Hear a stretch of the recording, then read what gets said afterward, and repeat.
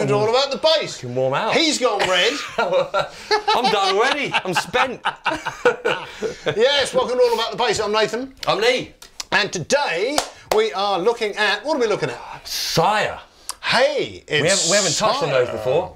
But uh, but yeah, no, more more Sire. Version 2's. Okay, so specifically version 2's. Version 2's Yes. vintage range. Okay, So. right. So, So, I guess so. There's so we've got so we've got the V7. yes, which is the standard kind of flagship model. Okay, and there's a V7 kind of standard, and then there's a V7 vintage, right? That's it. So you can get the V7 standard model in ash or alder bodies. Right. So with those come like a different combination of neck um, sort of material and scratch plate kind of look. Uh, but equally, there's the yeah the vintage V7 range, which again you get in ash or alder, fours and fives, fretlesses. Um, there's loads, but there's a few little tweaks they make on the vintage series, um, aside from the normal V7s, that Right. make these a little bit unique. A bit more vintage. A bit more. It's exactly that, really. It- yeah, it's in the name. It is. The clue's in the name. It is. That's- and what is that then? What is that? So those are so what they they they kept um, uh, the gloss neck on this. So uh, where they've the version twos on the standard V7s at the moment are all satin Mm-hmm. to get more of a modern feel.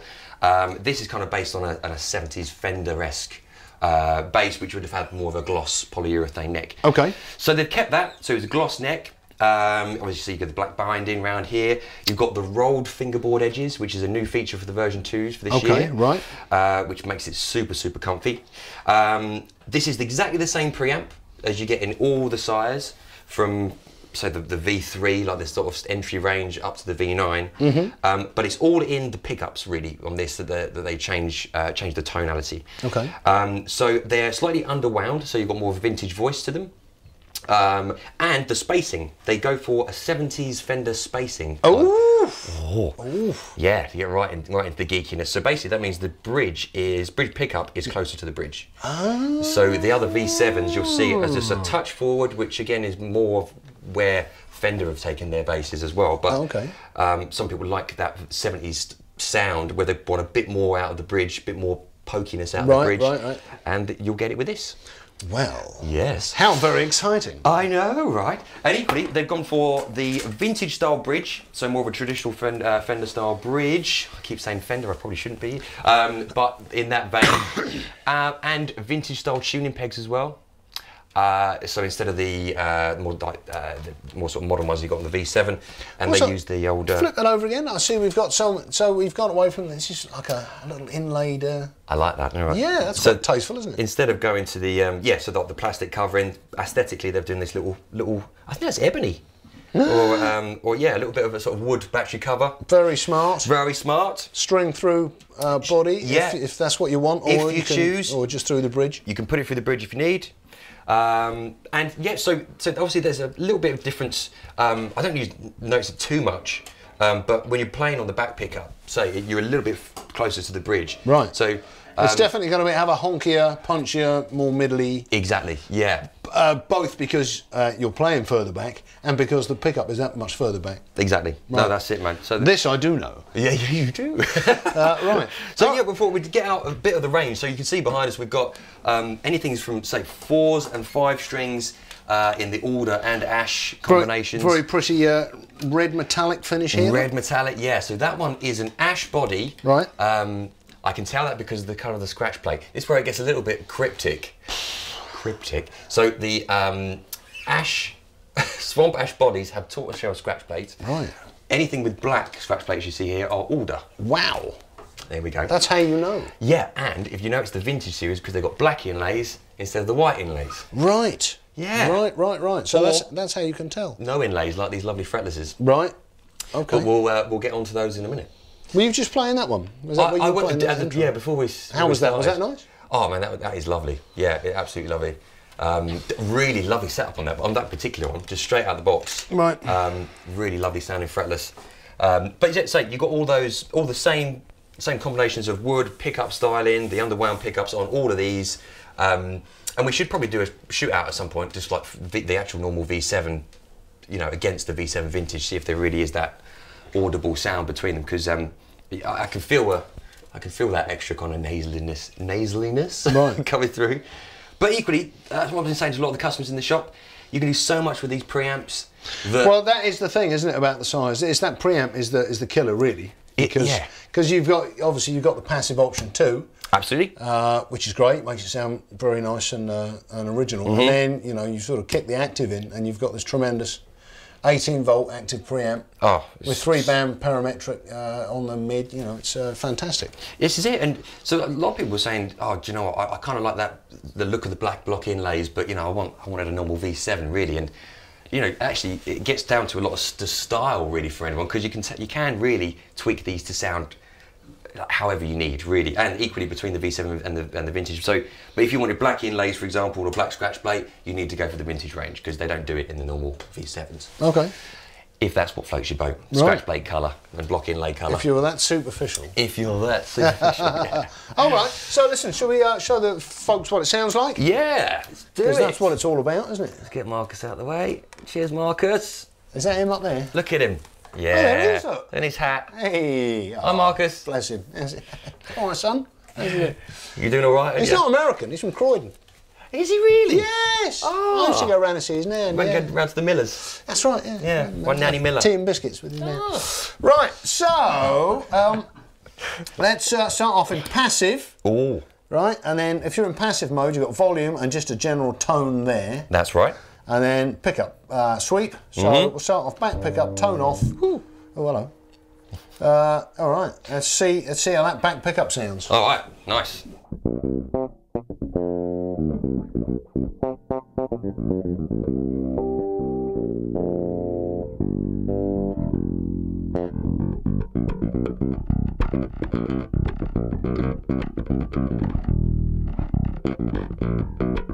rest.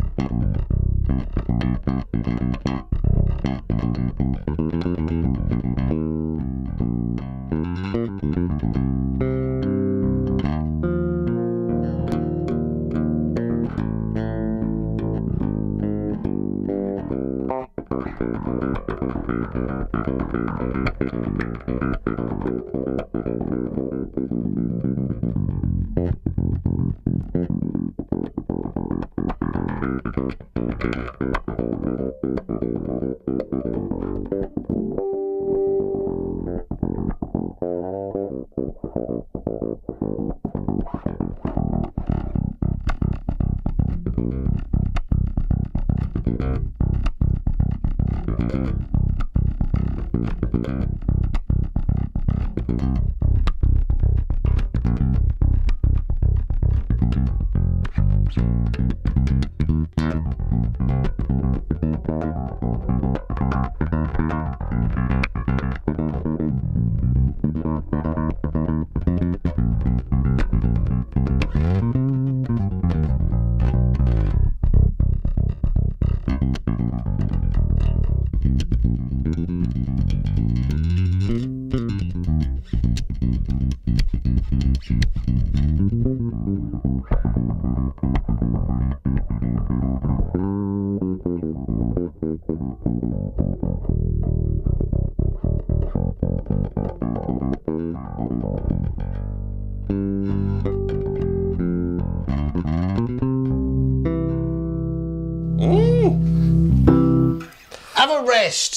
See, that's the trouble. You see with this preamp because it does so much. It, look, he's worn out. The poor boy.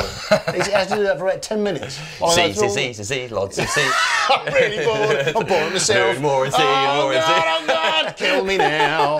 I know, man. I know. That's why I let you do it. No, I, do you know what? I love the bass, but I, I just get bored of what I'm playing. You know, like, oh, come on, Lee, come on, you can more there. We. Hey! Happy New Year! anyway, so um, that's fantastic, man. What they, and that's how versatile that is, right? So you've got all those sounds out of that one bass. Shed. Shed lungs. loads. Shed lungs. Absolutely. Shed lungs. Shed, Shed lungs. lungs. I can't speak. shed. Shed. Hey! yes. So uh, that's fantastic, right? Oh, man, cool. What's happened to me? I don't know. This bass is so good. You look, you enjoying Can't it? speak anymore. Was that nice? I was. Right. Uh, yeah. So this is, it, as you said, loads and loads of options. I love that. I just The love that, mid that is great, that, that filter. If you could, like a little control just to bring that in and out, just automatically. Well, you just need a, a, a little man on stage to come up and do that while you're just through the whole gig. doing your filter. Yeah, exactly. Yeah, man, no, love it. And actually, again, I've always said about these gloss necks, I'd say we prefer, we talked about it before, that satin to, to the neck finish, but they, they use a really nice comfy gloss on this that it doesn't actually, we haven't played it for hours or anything, so I don't really know how, how long it, how it sort of stands up like, like over that sort of time, but it feels really, really comfy. Just, you know, Well, it's, it's a personal thing, isn't it? and uh, it's it's all right. yeah. I mean, it's, like I say, I'm, a satin neck. I prefer a satin neck myself, but obviously guy. a lot of people you don't. A lot of people like the, the authentic, what what they used to have, you know. So Yeah, that's it. it's it's uh, each to his own and all that, And all that jazz. Yeah. all that jazz bass, all that jazz is, all those jazz all those jazzes. Um, so we've got, um, so as you said, right at the end there, you've got a nice five-string fretless. Look Look at that. That's a beauty. And these come with flat wound strings. Hurrah! Yeah. That's what you want on a fretless bass, nice flat wounds. Yeah, we've seen before. So like a lot of lot of brands just uh, you know, Come out the box with round wound on. round wound strings and round round round. Um, and you can't. Um, you can you can use them on the bass. I mean, uh, I say I've said before, but I know that in my personal experience, using them on a Rosewood board, I just I did it and just chopped up like chewed up all this board. Just Yeah. like there's loads of grooves down it that's just Yeah. doesn't look very good now. Maple is going to be a lot hard, harder wearing. Um, and it's interesting to say about these because Sire seem to be the only guys bringing back maple fretless boards. Um, and again, it was a 70s thing for Fender, Yep. um, unlined with Fender, so it was just yes, big slab of maple. You just had to guess. Right. Um, but yeah, at least they're giving you some lines on it. Hey. But say, I think it's a really, really smooth feeling fretless fretless board that they use. You know, obviously it's, this is uh, lacquered as well, so it's very smooth under the fingers. Yes, and with the flat wounds even more so. so. Yeah, too right. Lovely. Yeah, same. We've got four strings in those as well. Um, we, these are alder, alder V7 vintage fretlesses. You can also get Ash V7 vintage fretlesses. Have they got tortoiseshell scratch plates on? They have Hey, see? That's it, man. I'm learning. torty guards. That's the one. See, you go, that's how you know. that's the way.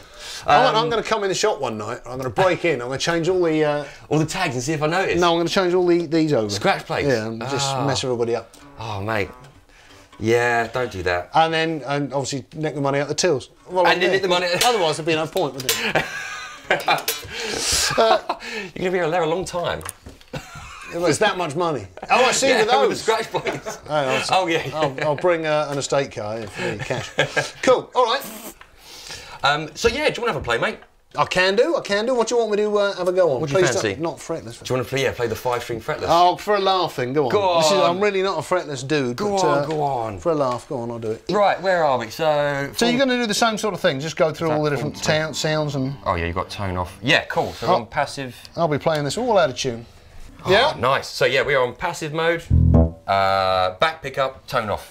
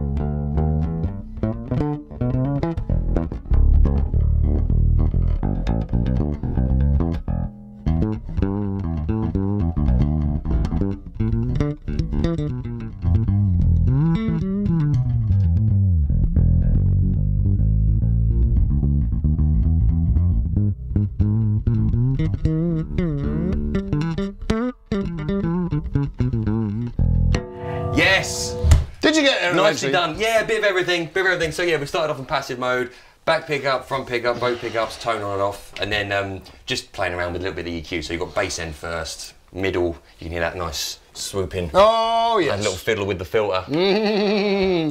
Uh, Filter fiddling. Filter fiddling. Lovely, lovely, lovely. And uh, yeah, it sounds great. Sounds great. It sounds lovely with that. Just Even knocking with the me playing a little bit. Shut up. yeah. Shut. Shut it. All right. Good. So this is yeah. This is we really, got, this so is there's millions of different combinations. Obviously, there's other finishes. There's other finishes we yeah, we don't have here. There's um there's some sunbursts in in everything. We got like see-through uh, white blondes in some of the ash finishes. See see through your white blonde. Hey, see. Um, yeah, loads of different. But say look on look on the site um, and so this is the V7 vintage side of um, their range. There are the, the normal V7s if you prefer more of a modern take on the jazz bass with all that that uh, that that preamp option as well. Um, again, with fret, with fretless versions of five strings and ash and alder and uh, everything. Something for Everything you everybody. Whatever your requirements, buy one of each. Why not? Because they're very reasonable. Have we talked about the price? we haven't. Well, how much are they? Rough. So you're right. You, so man. between 450 and 650. 450, 650. Depending on what configuration you yeah, want. or if you want frets or not. Or Frets, fretless, five strings, Five string ash, fours. all, uh, all between there. And you will find also some version one um, uh, uh, vintage V7 vintages left that we got on a bit of a sale as well. So Oh. you'll see on those um, because they're kind of discontinued. Oh, okay. There'll be a few deals if you fancy grabbing some of those. Oh, well. well, hurry while stocks last because they're very nice too. Deals. Dealy Dan, Deals. your favourite band. Yes, man. cool. All right. Uh, well, that's cool. I think that just about wraps that up. Yeah, absolutely. There we are. So Oh, we V. Yes. Probably to say we're playing through Gallien and Krueger and Aguilar, Ah, nobody cares. but you're hearing it DI'd. Yeah, you are, so it doesn't make a difference. Uh, it's cool. All right, lovely. Well, that just about wraps up this. So this is the version 2, no, V2. That's it. I'll get so confused. Right, say it ready. Sire version 2 V7 vintage range. See? That's what it is. Go and look at the website and uh, enjoy it. Yeah. This has been All About the Bass. I've been Nathan. I've been Lee. And uh, I hope you've enjoyed it. And if you have, come and uh, check us out again. We'll see you next time. Bye now. Hey, four.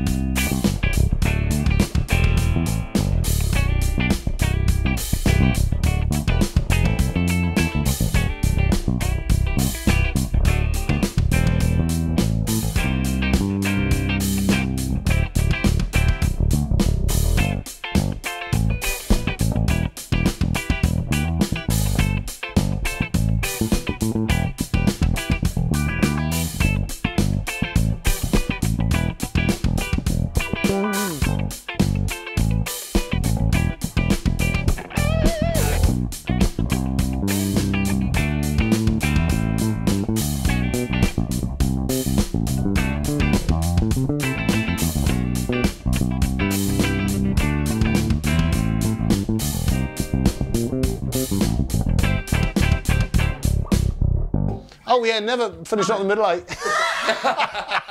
what? Dear, I'm